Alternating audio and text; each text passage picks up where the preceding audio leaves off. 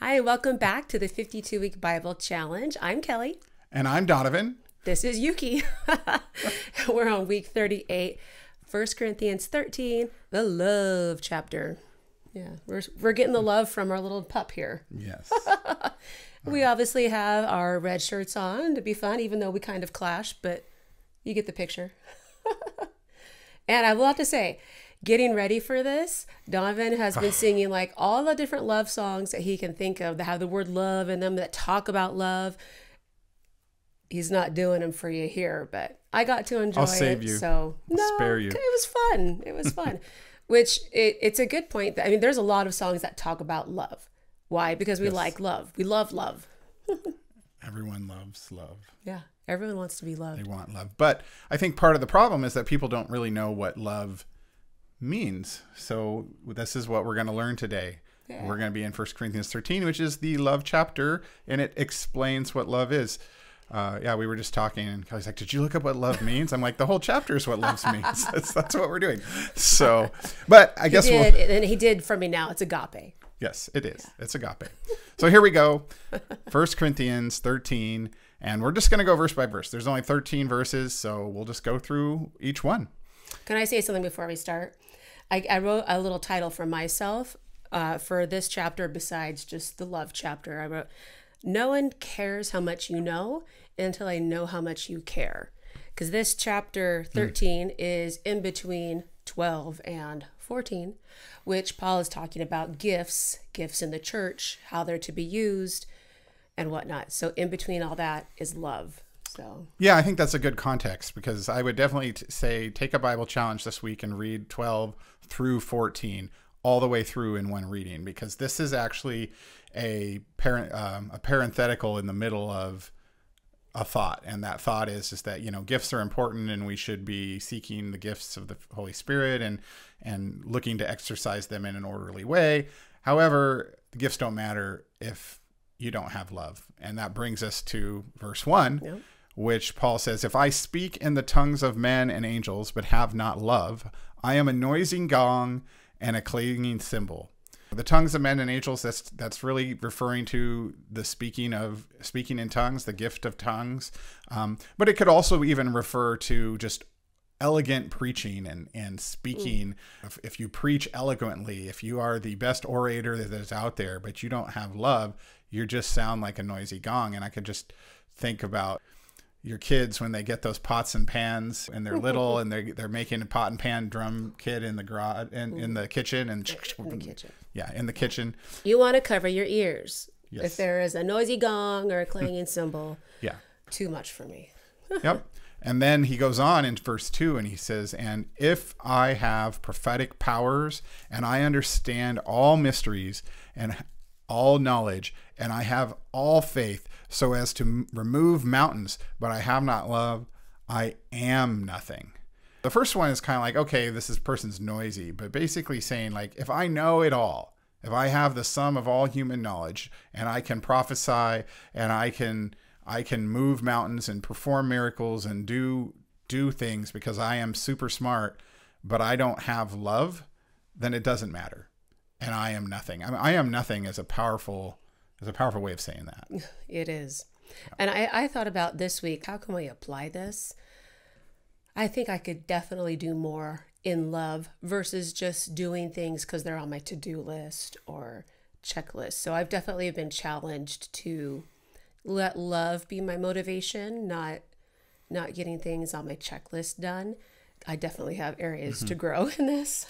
In my notes, I kind of wrote just for myself, like head knowledge and wisdom and understanding alone don't make me important or significant. Like that's not hmm. that's not what makes us important. Like that's what the world would say. And I know we've talked in previous, you know, previous sessions about the world's knowledge versus God, or you know, the world's wisdom is foolishness and versus God's wisdom. And this is this is an example of that, hmm. right? The world would say to have love, to love others is not important compared to having knowledge or being smart or being powerful like that's the world's going to tell you that those things are important um, and make you make you important and make you significant but but I think uh, certainly those of us who are believers, we understand this because I mean, I think we'd also look at someone like Mother Teresa who gave up everything to go serve in the slums of India.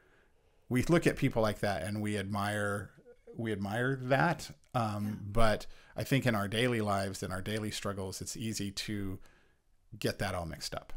And and Paul is really talking about what it means to to love and or what it means to love and who, what that makes us, or really what that doesn't make us if we don't love. Because he's kind of talking about the the negative effects of like doing all these things but not having love. And then he, and then a third time he's or in the verse three he says, "If I give away all I have, and if I deliver up my body to be burned, but have not love, I gain nothing." And I think this is really speaking to rewards. So we've talked we talked mm. about rewards, right, last week, and we talked about sac you know sac well sacrifice and how like we need to be building with the the good building materials, not with the wood, hay, and stubble. Yeah. And and what he's basically saying is like if I if I tithe everything I own, if I give everything I own away, but I don't have love. So like if Mother Teresa sold everything she had and went and just did all this stuff but didn't actually love the people she was ministering to, then that that it, she gained nothing. Mm. You know, and I'm not saying she did that. I'm just saying like that's an example and and of somebody who's who gave up everything and to go to go serve uh, as she saw as she felt called. So it, it's same same with us. Like if we're giving to to check a box or to be legalistic or to look good or to even gain points with God. Like maybe we're following all the rules and keep giving in secret and not telling other people, but in our heart, we're not doing it because we love Christ and we love his people. Then then that giving uh, really does nothing for it, it, it, We gain nothing in that, and I think that just speaks to the power and importance of love, um, because we do go back to the greatest commandment, right? And the greatest commandment is love the Lord your God with all your heart, mind, soul, and strength, and love your neighbor as yourself. Love God and love people, mm. right? Those are that is the greatest commandment. So so this is telling us how this chapter, it's we're going to go on here, is telling us how do you do that? How do you do that? So first we need to love God with everything we are. And I think I think that's an important part too, right? Like if we're doing what we're doing because we love God and we know that that's what God is wanting us to do and we're doing it because we love him, then we're doing it with the right motive. It makes me think of that verse that we can love because he first loved us. So yes you know, Mother Teresa, in your example, she was able to do that because she received all that love from the Lord. So, if we're going to go out and love others, we have to first re- be receiving from the Lord. And I would say, I would say daily, mm-hmm. hearing from the Lord, relying on Him, and being filled with Him before we go out and minister to others. But what is love? What's the definition of love? so now Paul is going to explain it to us. And there's actually um, it's a list of pros and cons or positives and negatives. I kind of rewrote it in my notes mm-hmm. as pluses and minuses of things that love is and things that love is not. Oh. And I think that's important to kind of look at this because as you look at what it is, you can infer that it's not the opposite. And so, and if you look at it as what it's not, you can infer that, well, it must be the opposite of that. Mm. So, so we get to verse four and it says, Love is patient and kind. Love does not envy or boast. It is not arrogant and we'll just stop there. Uh, so, what is it? So, it's patient, and patience is long suffering, the, the idea of waiting for others, not demanding everything now. Um, it's kind, right? It, it's nice. um, so, what isn't it? It's not envious. It doesn't. Um, it doesn't boast. It's not bragging about itself. You're not so a person who's loving isn't going to be like, oh man, I wish I could have had that thing that this person got, or be upset Ooh. that someone else got the promotion, or be like, look what I have, you know, in front of someone else. You know, they're not going to, a person who's loving isn't going to be arrogant. Mm. They're not going to be proud. Um, and, and I think we've all probably met people or seen, seen people or, you know, that are arrogant and rude. And, and, and those people, um, aren't they're bristly, right? And they're yeah. they're not expressing love. I don't want to be around them. And really, like, and being envious and boastful and arrogant, and to go on in chapter five, he says rude, you know, mm. or rude. Those are very selfish things because they're putting, you know, if you're envious, you're thinking, I should have what someone else has. If you're boasting, you're saying, I'm better than you because of whatever. If you're arrogant or you're rude, you're placing yourself, you're making yourself more important than the other person. So, whereas if you're patient, you're putting your needs in submission to someone else because you're you're you're waiting. You're waiting for them as opposed to demanding them to meet your timeline. Oh, this is really it's really hitting home for me right now. Just even even though I've been reading this all week, but it's like man, I, th- I think I had a, a, jealous moment this morning, and I had to work through the Lord with that. And like, what's really going on here? And mm-hmm. and I took care of that. But again, like I said, I just have so much room to grow. Yes. But I have to say, it's really nice though when you do mess up and it's with someone who is patient and kind. It's like you still are super bummed that you messed up and you you tell them, but you just know that they're going to be patient and kind about it. Mm-hmm. It's so refreshing and it just yeah. it makes just makes it easier to be around people when they're patient and kind. well, yeah, and I mean, I you know, I think you know, you say you have a lot of room to grow. I have a lot of room to grow in this as well. This is kind of like reading this. It's like, oh, I'm thinking about things that I'm envious about, or maybe I'm impatient about, and it does. It it it hits you. It hits you personally, and that's where the, it's intended to. I mean, Paul's mm. writing this as a correction, as a rebuke to the Corinthian church, because they were getting all arrogant and envious about other people's spiritual gifts, ah. right? So they weren't even envious about things like, oh, they got a new Porsche, or they get to go on a nice vacation, or they they have kids that are all whatever. So they weren't envious about those things. Mm. They were envious about, well, that person prophesies, and that person has can speak yep. in tongues, and that person, you know, can do whatever, and and they were getting arrogant and proud and rude about it instead mm. of exercising the gifts in love, which is what God intends. This applies to all areas of life, and that's why this is probably one of the most famous passages of Scripture. So we can go on, verse five. Um, so so in verse four he said, "It is not arrogant or rude. It does not insist on its own way. It is not irritable or resentful."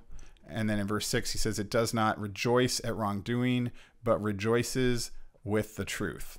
This is probably it's not irritable. It hits me at home. I get irritable, and um, I get resentful uh, when things don't go my way. Uh, uh, I think it's easier to not do that in a church setting or even at home, uh, but maybe at work or in just out in public or, or whatever, getting irritable in traffic, getting irritable at the grocery store, getting irritable Ooh, at lines. the person. Yeah. And resentful kind of goes with envious or whatever, like resentful, like, why didn't I get that promotion or why didn't I get this thing or why do I have to do whatever? That's resentful and and those these are I mean I don't know. Paul's not Paul's not pulling his punches. I mean he's just unloading with both barrels saying hey this is this is what it is. But I think it's so good because it really frames what love is. So this is these are things that love is not right so what does that mean? I think in order to know what love is, so what is love? Well, what's the opposite opposite of envy? The, the opposite of envy is rejoicing when someone else gets something that that you would like to have. What's the opposite of boasting? Well, being humble and not false humility, true humility. What's the opposite of being irritable? Well, really kind of being patient and and mm, you know and yeah. and being unflappable. I guess you know Ooh, unflappable. Yeah, yeah unflappable. uh, and and so so love love is unflappable. Mm-hmm. it doesn't it doesn't resent. It it's it's it rejoices in what other people stuff say, and that's what he goes on to say. I don't rejoice at wrongdoing. I don't rejoice when I see people do bad things or bad things happen. I rejoice with the truth. I rejoice with Jesus. I rejoice when tr- when truth wins. I rejoice when good things happen to other people because I because I love. NASB says, verse 7 uh, love bears all things, believes all things, hopes all things, endures all things. And then I thought, well, that it's one of those lo- love is, love is mm-hmm. bearing all things. That's not a fun, fluffy love Valentine mm-hmm. card mm-hmm. type feeling. Like that's bearing, I think like bearing one another's burdens. Yeah. Always forgiving the 70 times, seven times, bearing all things. It's not easy. it's not a fluffy, happy feeling. Yeah, that verse seven really stuck out to me, um, and uh, because I was really reminded of verse First John four seven and eight says, "Beloved, let us love one another, for love is from God, and whoever loves has been born of God and knows God. And anyone who does not love does not know God, because God is love." And why that's important to me or why that's powerful is that I when I read verse 7, I instead of saying love there, I put God in that spot. And I and I put me in all things. So God bears me. He bears me and my burdens. God believes in me. God hopes for me hmm. to have good things. God endures all of my crud that I put up with, right? You know, and so that because God is doing that, I need to be doing that as well for one. So I need to be bearing all things in love. I need to believe all things. Now, when I read that, you know, I stopped and believe all things. Well, that doesn't mean I believe all religions. I doesn't mean I believe, you know, your truth versus my truth. That's not that's not what this is means because we rejoice with truth. So truth is a real thing, but believe believes all things, believes in people, believes in true things, believes in good things. Like, you know, it's not love is not Mr. Grumpy Pants. That's like, well, we'll see if that happens. No, love believes that the good things are going to mm. happen. Believes that believes in the person. I just think you, you hear stories about athletes or people that are like, this person believed in me and I could do it. Mm. That's Wow. love, right? And when someone believes in you, that's showing love. And God believes in you. God believes in us. Why? How do we know that God believes in us? How do you know that God believes in you, Donovan? Why? Because God sent his one and only son to die and suffer for our sins so that we could know him and have relationship with him. Like if he didn't love us, if he didn't want us to, if he didn't believe in us, if he didn't believe that it would work, then he wouldn't have done it. So he did believe in us. And that's and that's powerful. It is powerful. And another thing I thought of is what love isn't. You kind of talked about it a little bit with like, oh, that's your truth. It's common nowadays in popular culture to say you have to approve of whatever anybody is doing because that's love. So they're redefining love as approval of any sort of behavior that that person chooses. But if we remember at the end of Romans 1, basically summarizing it says we can't approve of perverse behavior. Mm-hmm. So it's not love to approve of someone else's perverse behavior. Right. We'll be accused of not being loving when we don't approve perverse behavior, but the world isn't our judge. God's our judge. So you have to it's it's hard. You have to hold fast to the truth, which is found in his word. But that mm-hmm. just it's a it's a challenging thing. It is, and I, I think as you're talking, what what we're seeing here is that love is not dependent upon the recipient; hmm. it's dependent upon the lover. Love is not love if the person that I'm loving feels that I'm patient, or feels that I'm kind, hmm. or feels that I'm not envious or boastful. It's only loving if I am patient hmm. and I am kind. And so in that regard where someone's saying, "Hey, you can only love me if you accept me." It's like that's really not that's really not true. You can love somebody not accept their behavior, not accept their worldview, not accept their beliefs, but still truly love them. And in fact, if you do love them, it will drive you to speak the truth. And that's what I think the world and and people that aren't Christians uh, maybe have a hard time grasping or understanding because somebody who believes that well if you love me you'll accept me is basically saying that I shouldn't have to change my beliefs or my ways or that I'm right and and essentially you're wrong. And because I'm right if you really loved me you would believe what I believe. But the reality is is that you know we can if we truly love the lost right if we we would tell them the truth. Because by loving them by not telling them the truth in essence you're withholding vital information now that doesn't mean you beat it over the head i mean if you tell somebody the gospel and they reject it then you've done you've told them and then you could pray for them and and if the holy spirit leads you again you do it again but but the point is to have the the cure to have the solution to people's problems and never tell them what it is is not loving. We don't rejoice at wrongdoing, uh, wrongdoing, right? So that's part of this, what you're saying, right? Love is not being like, oh, great, you went and robbed a bank. I love you so much. I'm so proud of you. That's not, no, no, that is not love. That, that is, that is, you would say, oh, wow, that is very wrong. You should turn yourself in and there's going to be consequences. But if you repent and confess and turn away from your, your sin, then you'll, you'll have eternal life, right? I think that's, that's showing love and Yeah, kind of what you're talking about is love is action, not It is. just feeling. it, absolutely. I think we see that here. Love is love is not how we feel on the inside. Love is an action it's a verb Yeah, right? It's uh, things. love love love is a verb. It's something you do. It's something that comes out of you in behavior. And obviously it starts with some sort of attachment or some sort of for lack of a better term you know it might start with the feeling or the fe- the emotions might help indicate that there is love there but it goes beyond the emotional. You can be very loving and unemotional at the same time because you could be patient and kind and you know you could you could bear all things and believe all things and hope all things and endure all things and not feel butterflies in your stomach. Interesting. I don't think that's something we think about very often. So I'm glad you brought that up. yeah. And then he goes on in, in verse 8 Love never ends. As for prophecies, they will pass away. As for tongues, they will cease. As for knowledge, it will pass away. For we know in part and we prophesy in part, but when the perfect comes, then the partial will pass away.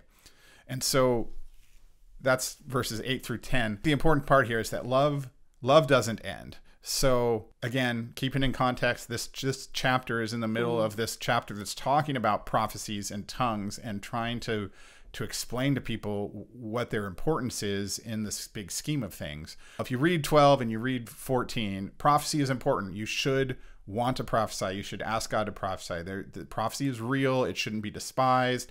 We should be seeking prophecies. Now, there's, and there's order in the way that that is done, right? It's not just anybody can prophesy. There's order. Uh, they need to be tested, all that. But that prophecy, that gift, that spiritual gift is for a time and for a season. And uh, same with speaking in tongues. Like th- there's purpose. Like again, that's all in tw- in 12 and 14. There, that's a gift. That gift is is active today. Um, but someday in the future, when the perfect comes, so so there's all sorts of scholarly debates on what that means. But I think the general consensus is that the perfect comes means when we are in heaven with Jesus, like when we when we are perfect, when when the world has been restored hmm. into perfection and the old has passed away and the new heaven and the new earth, somewhere in that timeline. Like I, I don't know exactly what the perfect means in that context, but sometime in the future, when the perfect has come, there won't be a need for prophecy anymore. And I think he goes on to say that uh, we won't need tongues, we won't need words of knowledge downloaded from God because we will be in a place of perfection and we will With- know everything that we need to know. But in that world, in that state, love will still exist because love never ends.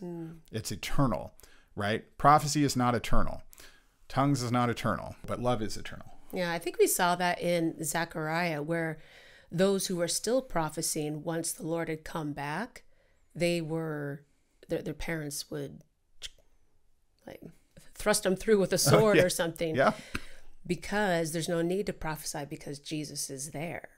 So Yeah. we even saw, saw that in the Old Testament. And I have to say, I like that your version, uh, ESV, said love never ends. Mine in the NASB says love never fails. But that word end calls back to what he says in the rest of the verse of tongues ending, prophecy ending, but love never ends because these are all ending type words. So that that really um, helped me understand more. Thank you. Yep. And so then just to kind of repeat verse 9 for we know it for we know in part and we prophesy in part but when the perfect comes the partial will pass away. Basically what he's saying is like when we prophesy, when we get like a word of knowledge or, or when we're speaking in tongues like that is that's not a, a complete and total total knowledge. Like we don't get mm. prophecy doesn't give us everything that we need to know. We'll probably talk more about this next week as we get into some other future events, but essentially prophecy tells us things are going to happen, but maybe not when, or maybe not how, or exactly what it's going to look like. There were hundreds hundreds of prophecies about Jesus, many of which people didn't even realize were prophecies about Jesus until after Jesus came and fulfilled them. Mm. And so, just the reality is is that um, we don't we don't know until the actual fulfillment happens. And then he goes on in verse 11. He says, "When I was a child, I spoke like a child. I thought like a child. I reasoned like a child. When I became a man, I gave up childish ways. For now we see in a mirror dimly, but then face to face." Now I know in part, then I shall know fully, even as I have been fully known. So basically, Paul's just saying, hey, I. We are in a childish state right, right now. Right now, we only see dimly. Right now, we only know in part because we are still in our childish state compared to what it'll be like when we are fully grown and in our glorified heavenly state. Which so, we'll get to talk about in the next lesson, yes. 1 Corinthians 15, about our resurrected bodies, the glorified bodies, what those will be like. And I'm really excited for that. And um, this verse about the mirror, though, we see in a mirror dimly in verse 12. I think uh, I think in a previous time when I was studying this, I looked up about mirrors. I was like, oh, they had mirrors back then. You know, when, when did that come about? Well, of course, it wasn't like the nice, very clear mirrors that we have nowadays. So the mirrors that they had were dim. They were made of different materials that were maybe only a little bit reflective. And it made me think of even nowadays, you sometimes you go to um, an event at a large place, like maybe a, a, stadium at a school or something, and in the bathrooms they have those mirrors that are kind of like warbly, and they're not very clear. I think they make them that way on purpose because they don't want people lingering in the bathrooms. And at some places they even take away the mirrors because they're like, we don't want you lingering in the bathrooms. But you, I think, I think, I think at this point, all of us have still seen one of those like not very bright, oh, yeah. a dim mirror. So you you get that picture of what it's like. It's like, oh yeah, I can kind of see what I look like, but not really enough to help me out to see if there's some broccoli in my teeth type of thing. well, a lot, yeah, a lot of them were like polished metal, and then you got to think they didn't have electric lighting, so they would just be having candlelight or maybe sunlight, mm. you know, um, yeah. if it was daytime. But I, I like he said now we see in a mirror dimly. Like, well, what are you looking at in a mirror? You're looking at yourself in a mirror, but then we're going to see face to face. And mm. I just, as I'm thinking about this right now, like, well, who are we going to see face to face? Jesus. Why? Because Jesus we bec- it becomes our mirror like that's who we want to wow. become that like we want to become mm. like christ we want to look like christ so that's i don't know i'm just thinking about that like right now we see that very dimly very very dimly rough with scratches like i am not a reflection of christ i'm a very poor reflection of christ right now mm. but you know when we're glorified and and when sin is no more and we've been cleaned up and get you know in our heavenly robes and all that like we will be reflections of christ Nice. Yeah, there's stuff to look forward to. I think you maybe said it in the last or previous episode that you weren't looking forward to heaven because uh, years many years ago when mm-hmm. you were mm-hmm. first saved because you thought it was an endless worship service but like there's there's so much more to look forward to mm-hmm. especially as we get older you start experiencing those aches and pains in your body and it's like mm-hmm. oh it'll be so great when this yes. flesh has been redeemed and glorified so there's yep. stuff to look forward to yep we'll wrap it up with verse 13. So now faith, hope, and love abide, these three. But the greatest of these is love. And I think that's just an important reminder that we need to have faith and we need to have hope and we need to have love. But the greatest the greatest the most important of these is love. And as i've just in general as thinking about this passage in its in its totality and what does this mean like i just really think about like what does it look like to love other people? And like do i love the people i encounter right? Do i love the people i see when i'm on my way to work or at work? Do i love the people i encounter in my community? And like I said, it's not an emotional like, oh, I love you so much, man, give me a hug, right? Like, no, that's not that's not what it, it feels like. But it, but what it, it becomes a tugging. So what I what I see is that when I see you know poverty or i see someone homeless i'm on the bus and like someone's you know homeless on the side of the street it's like well yeah i'm not right there in their face and even if i did they probably wouldn't be very nice to me but at the same time like my heart goes out to them like i i want I know that they are better than they see themselves. I know that God sees them in a better light than they see themselves and that He wants Yeah. them to be saved and He wants them to know the gospel.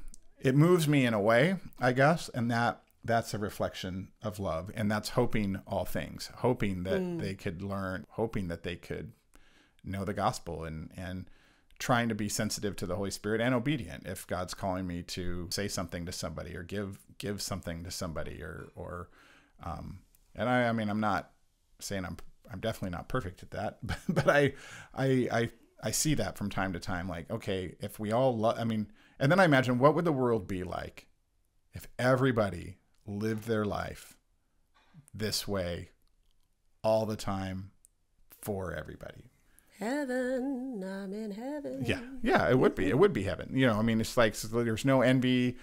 Everyone's patient. Everyone's kind. There's no arrogance. No one's insisting on their own way. Yeah. And my version, verse five, I don't, I don't think we touched on it much. It says, "Does not keep a list of wrongs." Hmm. That's really good, and that's a question to ask yourself. Like, Lord, is there anywhere or against anyone am I keeping a list of wrongs? And just be quiet hmm. and wait for the Lord to speak to you. Mm-hmm. And that that's some of the application type prayers that I prayed this week, asking the Lord to show me where I'm not being loving. And and he's so gentle and mm-hmm. and kind and patient and merciful, graceful. I could go on. In that in that he's not just showing me all my wrongs at once, but w- what I can handle and we move on from there. And verse 13 that you just read, the very last verse of the chapter. I just remembered that I wrote that verse in my senior high school yearbook. I think as seniors, we got to, there's an extra space to write something. And so, being a Christian at the time, I wanted to put something meaningful. So I put that. But I, as I think back now, it's like, wow, Kelly, you really had no idea what this meant.